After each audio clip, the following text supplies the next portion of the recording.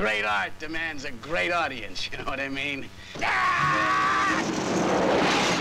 veteran, isn't he? Something like that. I know what it does to some men. I have to give that another try. He's drunk.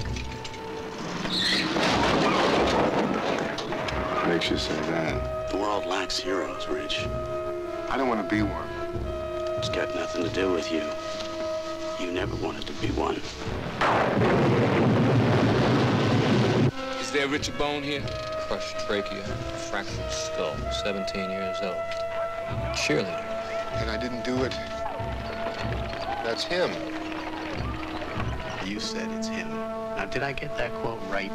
Yeah, you got one big problem. What's that? Your imagination. I haven't even begun to let my imagination loose on this one. You're gonna blackmail J.J. Cord. Cronies in the playpen planning a dumb crime. I did hope you weren't hurt. He knew who you were from the first. You think we haven't been watched? He may be scared, but he's smart and powerful. Mr. Cutter, Richard Bone. this young friend of yours is pursuing some fantasy of his own and, and includes me. I didn't pick him out, you did.